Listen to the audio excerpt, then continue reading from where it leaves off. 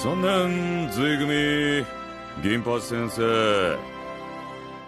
じゃあ最後に20周年でやることを決めたいと思います。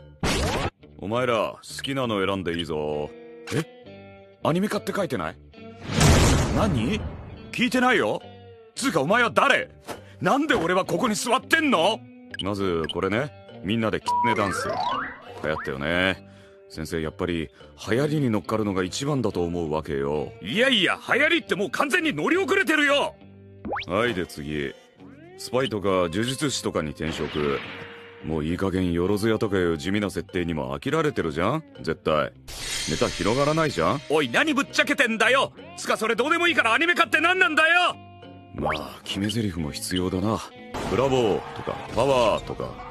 分かりやすいのがいいな。知らんけどはいじゃあまあこんな感じで。おい何一番大事なとこスルーして終わらせようとしてんだよ。でまたアニメやるとしてそれえ？もしかしてお前が？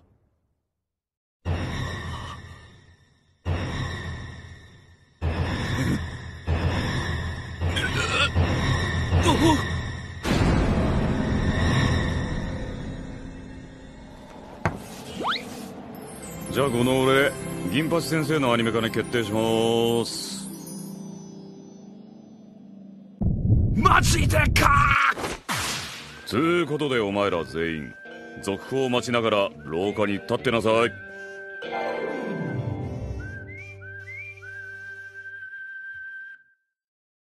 え？俺の出番は？